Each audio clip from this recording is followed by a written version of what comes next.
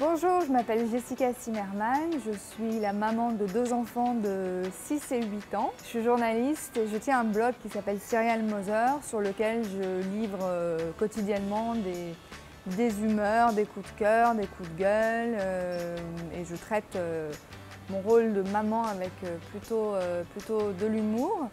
et je sors un livre courant mai qui va s'appeler Serial Mother aux éditions Stock. On fait beaucoup de choses avec les enfants, évidemment, comme, je pense beaucoup de, parents.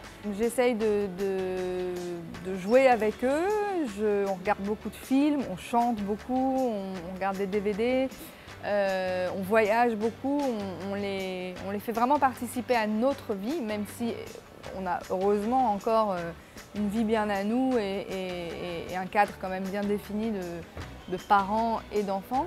Mais quand on est euh, à quatre, ensemble, euh, on fait vraiment beaucoup de choses. Euh, évidemment, les héros de mon enfance deviennent les héros de, leur enfance abordés de façon totalement différente. par exemple, je pense à Iron Man, Spider-Man, Superman, Batman. Tout ça, c'était les héros de mon enfance et voire de celle de mes parents.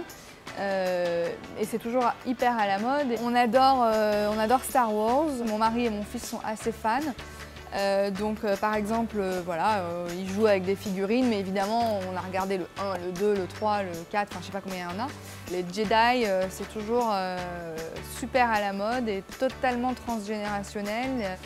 Dans un registre beaucoup plus enfantin, bah, l'éternel Barba Mama, Barba Papa, qui sont des dessins animés un petit peu pour les plus jeunes, mais que je regardais moi aussi quand j'étais petite et, bah, ça n'a pas vieilli. Quoi. Moi j'adore leur faire découvrir des films que je regardais quand j'étais petite, donc euh, il y a des films comme E.T., comme La Mélodie du Bonheur, des choses comme ça. Euh, j'ai redécouvert récemment un film que j'adorais euh, quand j'étais petite qui s'appelle Maman j'ai raté l'avion.